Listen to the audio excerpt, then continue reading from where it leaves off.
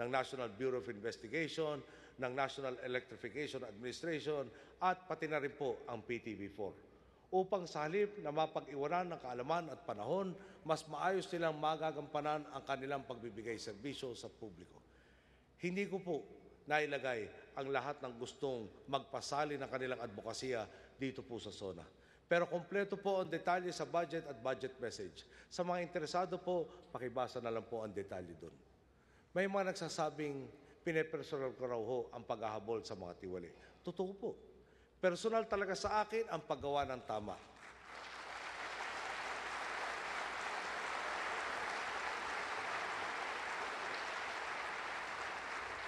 ang pagpapanagot sa mga gumagawa ng mali, sino man sila. At hindi lamang dapat ako na may personal sa usaping ito. Personal dapat ito sa ating lahat dahil bawat Pilipino ay biktima nito.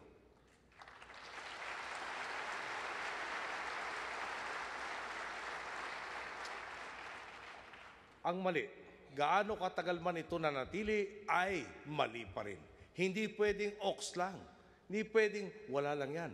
Kapag kinalimutan natin ang mga ito, mangyayari lang ulit ang mga kamalian ng nakaraan.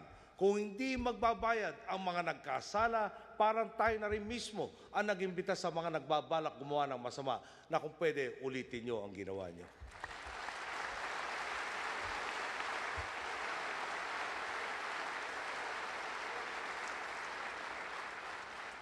Ang totoo nga po, marami pang kalokohan ang nahahalungkat natin. Pero hindi na ho tayong papakahaba doon, bigyan ako lang kayo ng isang halimbawa. Sa Pagcor, kape. Isang bilyong piso po ang ginastos ng dating pamunahan ng ahensya para sa kape. Sa isang daang piso na lang po kada tasa, lalabas na nakonsumo sila, nakakonsumo sila ng 10 milyong tasa ng kape. Baka po kahit ngayong iba na ang pamunuan ng Pagcor,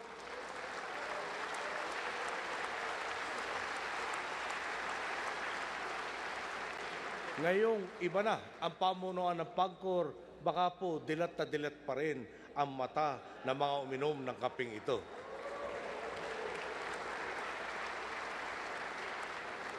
Hanapin nga po natin sila at magtanong, nakakatulog pa po kayo?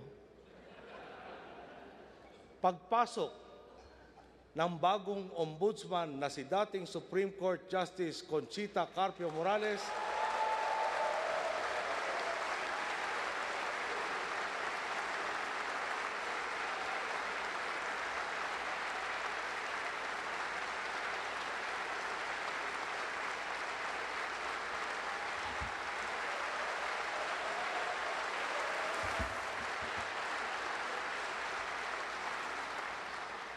magkakaroon tayo ng tanod bayan na hindi magiging tanod bayan ng mga nagwawangwang sa pamanan. Inaasahan ko nga po na sa taon na ito, masasampahan ng kaso ang maraming nagkuntsabaan sa katiwalian at naging sanhi ng sitwasyong ating inabutan. Tapos na rin po ang panahon kung kailan nagsasampa ang gobyerno ng malalabnaw na kaso. Kapag tayo nagsampa, matibay ang ebidensya, malinaw ang testimonya at siguradong walang lusot ang salarin.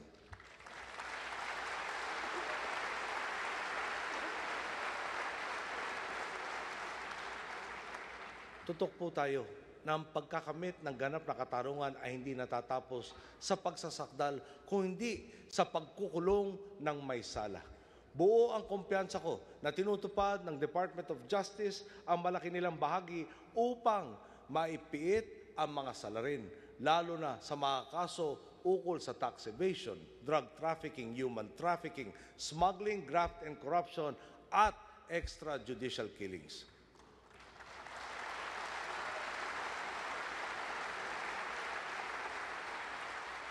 Wala pong tsamba. Ang tapat at mabuting pamamahala ay nanganganak na mabuti ring resulta. Isipin po ninyo, na ipatupad natin ang mga ipinangakong serbisyo ng gobyerno at nakapaglaan pa ng sapat ng pondo para sa mga proyekto nang hindi kinakailangan magtaas ng buwis. Iyan naman po talaga ang plano. Siguruhin na patas ang laban. Itigil ang panalamang ng mga makapangyarihan. At yakin na ang dating sistema kung saan nakikinabang ang ilan ay magiging bukal na oportunidad para sa lahat. Tinutuldokan po na po natin ang wangwang sa kalsada, sa gobyerno, sa kalakhang lipunan. Ito po ang mga anak ng kumpiyansa na magdadala ng negosyo. Ito rin ang sisiguro na ang pondo ng taong bayan ay mapupunta sa dapat nitong kalagyan. Infrastruktura na titiyak sa tuluyang pag-angat ng ekonomiya at pagmumulan ng trabaho. At serbisyong panlipunan na sisigurong walang mapapag-iwanan. Bubukas ang marami pang pinto ang pangkabuhayan sa pamamagitan ng turismo. Sisiguruhing hindi magugutom ang Pilipino sa pagpapalakas ng agrikultura. Ang mga dating kinakaligtaan, bibigyan puhunan ang kinabukasan. Magbubunsod ito ng siklo kung saan na may pupuno sa mga nalilikhang trabaho. At may mga consumer na lalong magpapalago sa mga negosyo. Batid ko po na hanggang ngayon ay may kakaunti pang nagrereklamo sa ating estilo ng pamamahala. Nakita po ninyo ang aming estilo at ang kaakibat nitong resulta. Nakita po ninyo ang estilo nila at kung saan tayo nito dinala. Sa mga taong bukas sa mata, maliwanag kung saan ang tama. Ngayon tayo na ang nagtitimon sa gobyerno, malinaw ang direksyon tinatahak ng ating bayan. Isang bansa kung saan ang pagkakataon ay abot kamay, kung saan ang mga nangangailangan ay sinasakluluhan, kung saan may saysay ang bawat patak ng pawis, bawat sandali ng pagtitiis, at bawat butil ng hinagpis na dinaanan natin. Kung may gawin kang mabuti, may babalik sa iyong mabuti. At kung may gawin kang masama, tiyak na mananagot ka.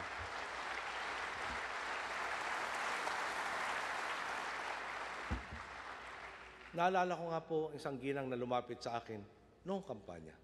Ang babala niya, Noy, mag-iingat ka. Marami kang kinakabangga. Tama po ang sinabi niya. Tama po, may agam-agam din ako kung minsan. Pero wala po akong alinlangan tumahak sa tuwid na laan. Buo ang loob ko dahil alam kong nasa likod ko po kayo. Salamat po.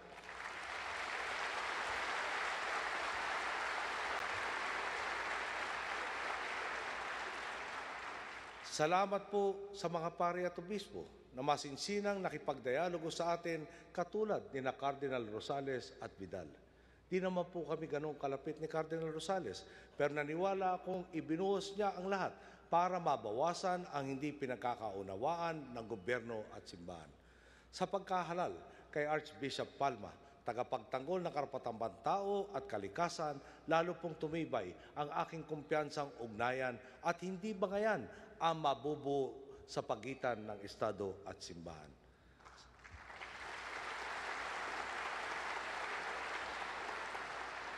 Salamat din po sa ating kabinete na walang kinikilalang panahon ng tulog o pahinga. Maipatupad lang ang pambansang agenda. Special mention po ang pag-asa na tunay na ngayong nagbibigay ng maaasahang babala.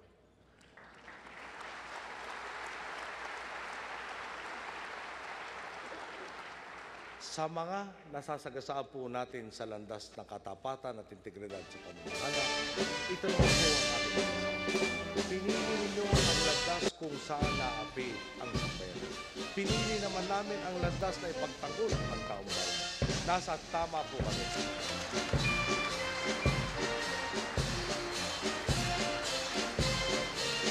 Nasa tama po kami, nasa mali po. Sa inyong magbabalik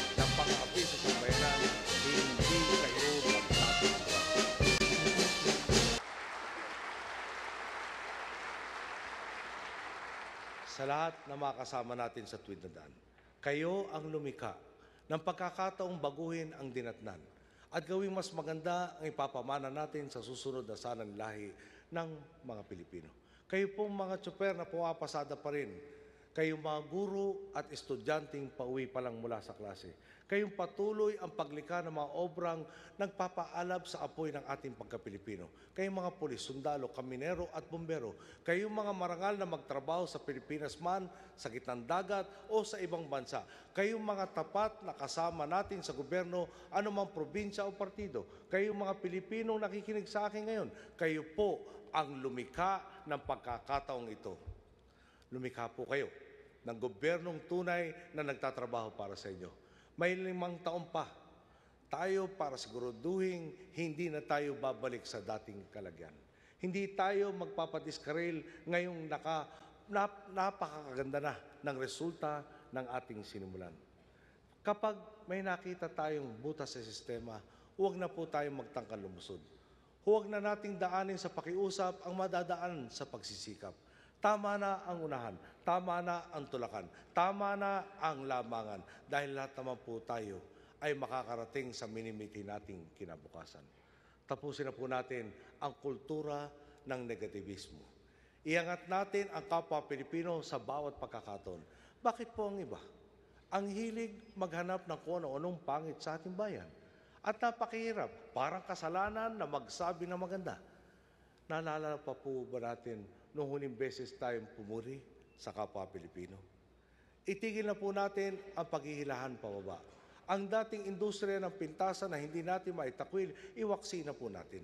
Tuldukan na po natin ang pagiging utak alimango. Pwede bang iangat naman nating ang magaganda nating nagawa? Kung may nakita kang mabuti, huwag kang magdalawang isip na purihin ito.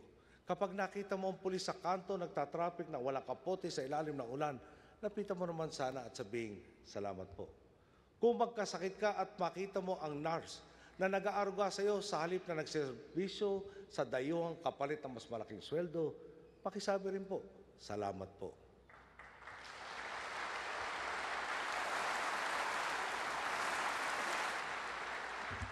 Bago ka umuwi, galing eskwela, lapitan mo ang guro mong piniling mamuhunan sa iyong kinabukasan kaysa unahin ang sariling ginhawa. Sabihin mo, salamat po. Tulad na aking gurong nasa screen ngayon, salamat po, Ginang Iskasa.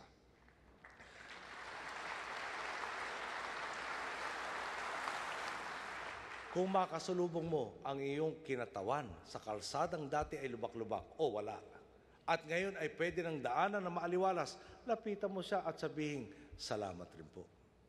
Kaya po, sa sambayan ng Pilipino, ang aking boss, na nagtimon sa atin tungo sa araw nito, maraming maraming salamat po sa pagbabagong tinatamasa natin ngayon. Buhay na buhay na ang Pilipinas at ang Pilipino. Magandang hapon po.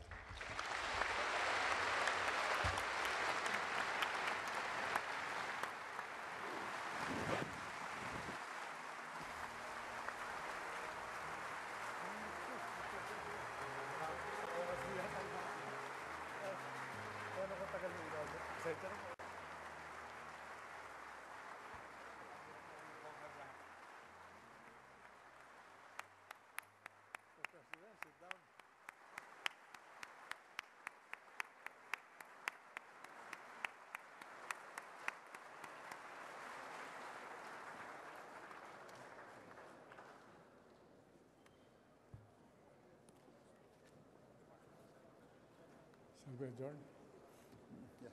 On the part of the Senate, the joint session is hereby adjourned. On the part of the House of Representatives, the joint session is hereby adjourned.